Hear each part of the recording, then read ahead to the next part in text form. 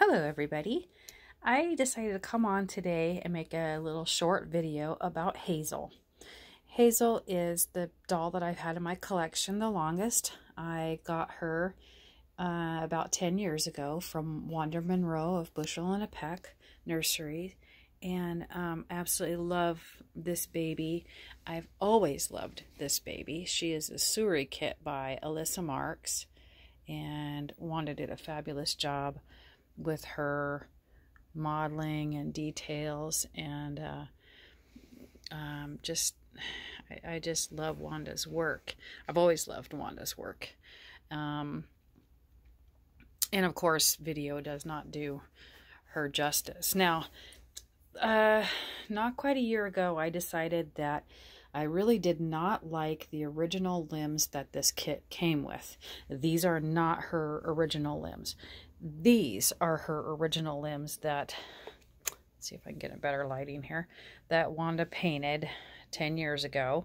Um, they are uh, a harder vinyl, you can see. They're like a really stiff vinyl. Um, and they just didn't I don't know what the deal is, but this is the the legs. That's the legs. I, I wasn't fond of, I don't know. I didn't like the hard vinyl, and I did like the leg shape because Alyssa Marks sculpts beautifully when it comes to uh, newborn legs and the shapes and things, but I wasn't fond of the hands. Um, I felt that for a newborn, this hand shape was just really weird, wonky. And then you can see it's shiny. Um, for some reason, the paints, the Genesis Heat Set paints, did not stick very well as far as the, um, I don't know, it's, it's hard to you can kind of see where Wanda had put a finish on her, and, and it was pretty good for years and years, but um, it tends to wear away with this um, harder vinyl.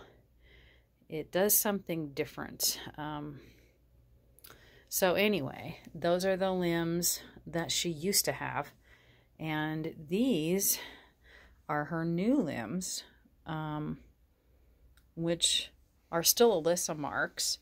Um, and I I decided to get a hold of Wanda and ask her if she could please um, make new limbs for this baby. If I sent her the head and the limbs that I wanted, could she please paint to match the head? And boy, howdy, she really, really did. Um, I'm very, very pleased. This is bad lighting and, and such. And but I'm very pleased with how, the coloration, how she turned out. She turned out beautiful. Um, this vinyl is a lot softer. It's it's really got some nice give to it and bend.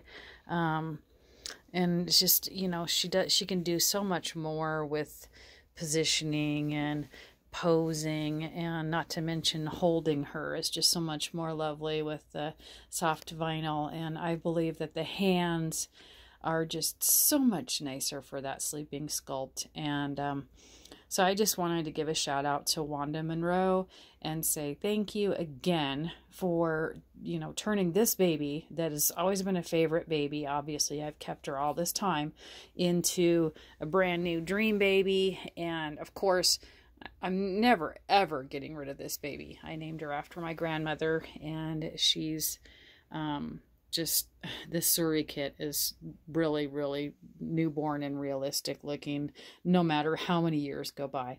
So uh, thank you to Alyssa Marks for sculpting such gorgeous work, to Wanda for painting and being such a nice friend and and agreeing to help me in my time of trauma. Um, and I you know, was so excited to get her back in my nursery. So that's all I wanted to talk about today. And if you have any questions, put them down below and I'd be happy to answer them. Except for the fact that I will not say prices.